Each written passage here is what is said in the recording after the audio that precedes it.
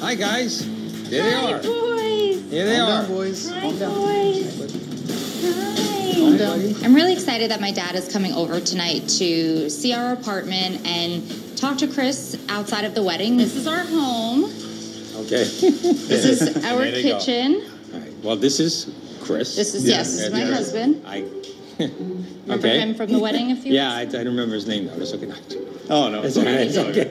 My dad is definitely very vocal and opinionated. He was so nervous before I married Chris because he didn't really understand why I was doing this. So I'm really happy he gets to see Chris and spend time with him and see how we're living together. This is our living room. Ooh, very nice. And That is great. this is our collection of pineapples and Dinosaurs.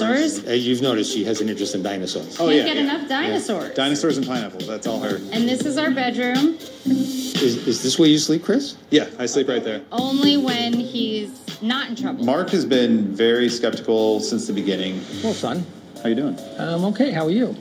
Hi. It's been- it's been a busy I can day. I can wait and earn the the dad. to yeah. call you dad. Yeah, it's it's, fine. I it's get like it. uh, we'll talk in eight weeks. Yeah. we'll see.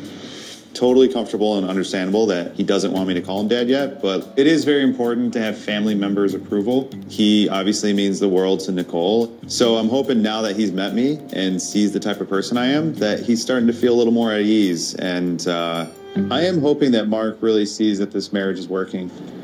So how have you, how have you been? I've been good. Um, I'm glad I was able to come by. I wanted to check up and see what's going on. Um, Yeah. She says only nice things about you, and That's uh, good.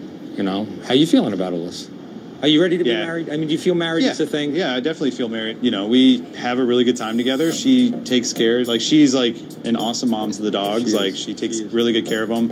She loves spending time with them, and she gets up earlier than I do. I so. I'm a night owl, so I can understand same, where you're coming same. from. There's been times where I'm, I feel myself waking up a little bit earlier and earlier every day, but it's not quite the same level as her.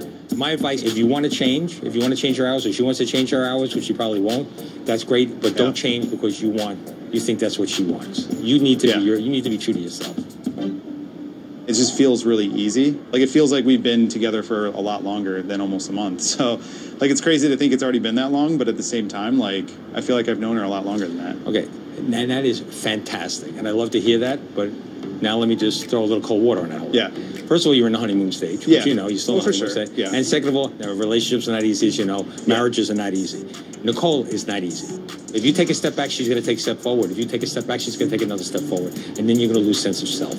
Don't. You can take a step back, but make sure you take a step forward. You don't want to be codependent on her.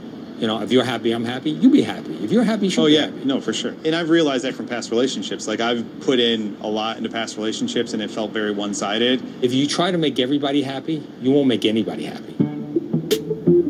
Chris is a nice guy. You know what he needs? I'm going to say it on camera. He needs a little big dick energy here, is what he needs.